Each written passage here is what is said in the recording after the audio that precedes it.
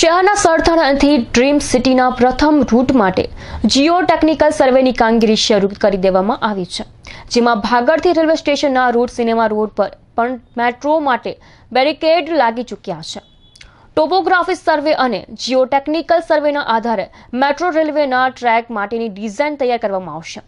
આ સર્વે બેથી ત્રણ મહિનાના ગાળા સુધી ચાલશે તેવું માનવામાં આવી રહ્યું છે. અગિયાર કિલોમીટરમાં છસો પિલર બનાવવામાં આવશે.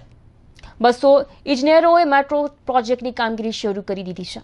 સુરત માટે અતિ મહત્વના અને ડ્રીમ પ્રોજેક્ટ એવા મેટ્રો રેલ માટે પ્રથમ ફેઝ એટલે કે સરથાણાથી ડ્રીમ સિટીના એકવીસ પોઈન્ટ એકસઠ કિલોમીટરના રૂટ પૈકી કાદરશિયાની નાળથી ડ્રીમ સિટી સુધીના અગિયાર પોઈન્ટ છ કિલોમીટરના રૂટ તેમજ સરથાણાથી મકાઈ પુલ સુધીના દસ કિલોમીટરના રૂટ માટે ટેન્ડરો મંજૂર થઈ ચૂક્યા છે.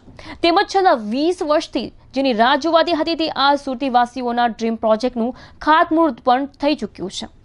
અઢારમી જાન્યુઆરીએ ડ્રીમ સિટી ખાતે વડાપ્રધાન મોદી દ્વારા મેટ્રો રેલનું વર્ચ્યુઅલ ઉદ્ઘાટન કરવામાં આવ્યું હતું. ત્યારબાદ ડ્રીમ સિટી ખાતે તેમજ લાબેશ્વર ચોક પાસે મેટ્રોની કામગીરીની શરૂઆત કરી દેવામાં આવી છે, જેમાં હવે મેટ્રોની કામગીરી જાણે ઝડપ પકડી રહી છે. જુદા જુદા વિસ્તારોમાં કામગીરી ઝડપ પકડી રહી છે, જેમાં હવે ભાગળથી રેલવે સ્ટેશનના રૂટ, સિનેમા રોડ પર પણ મેટ્રો માટે બેરિકેડ લાગી ચૂક્યા છે.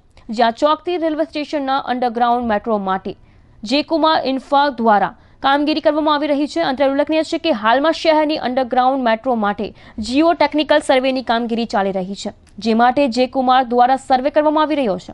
સર્વે પૂર્ણ થતાં જ ડિઝાઇન પર પણ લીલી ઝંડી મૂકી દેવાશે.